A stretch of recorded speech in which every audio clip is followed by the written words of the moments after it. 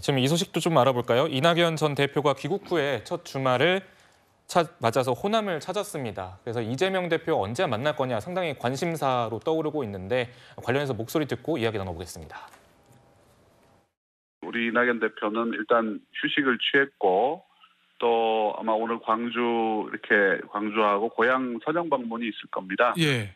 그리고 어, 또 우리 대통령님도 또 뵈야 되고요. 문재인 대통령님도 네. 어, 이런 여러 가지 일정들이 있어서 그 일정이 이루어지고 난 다음에는 어, 뭐 일정이 잡히지 않을까 그렇게 생각을 합니다. 저는 우선은 어, 두분 사이 신뢰가 복원이 돼야 된다는 생각을 하고 있습니다. 네, 친 이낙연계로 불리고 있는 윤영찬 의원의 목소리인데요. 지금 구자용 차장님, 네. 어쨌거나 지금 이재명 대표와의 회동에 대해서는 얘기를 거의 안 하고 있습니다. 네. 사실상 신경전이다 이런 관측도 나오고 있습니다. 그렇습니다. 그러니까 이제 이낙연은 이낙연의 길을 좀 걷고 있다 이렇게 볼 수 있을 것 같은데요. 지금 이 대선 이후에 이재명 대표 중심으로 민주당이 재편이 되는 것으로 보였습니다만 지금 약간 불안정한 리더십이었거든요.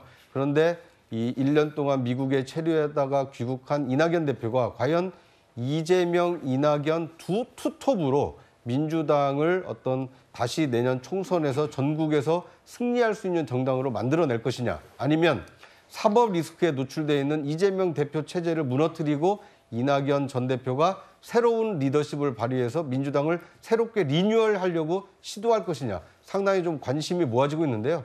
지금까지 귀국 이후 행보로만 보면 이재명 대표의 중심의 어떤 그 대표 체제를 도와주는 보완제로서의 역할보다는 이재명 대표를 만약의 경우에 대체할 수 있는 대체제로서 이낙연이 있다. 이것을 보여주기 위한 이 행보를 하고 있다. 이렇게 평가할 수 있을 것 같습니다.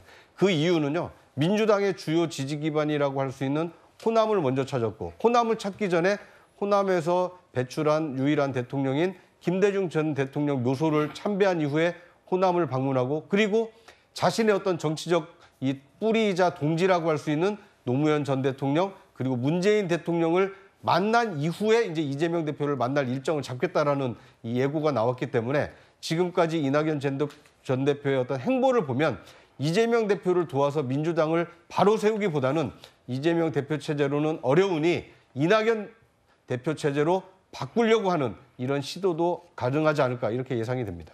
네, 지금까지 민주당의 장외 투쟁과 이 내부 상황까지 짚어봤습니다.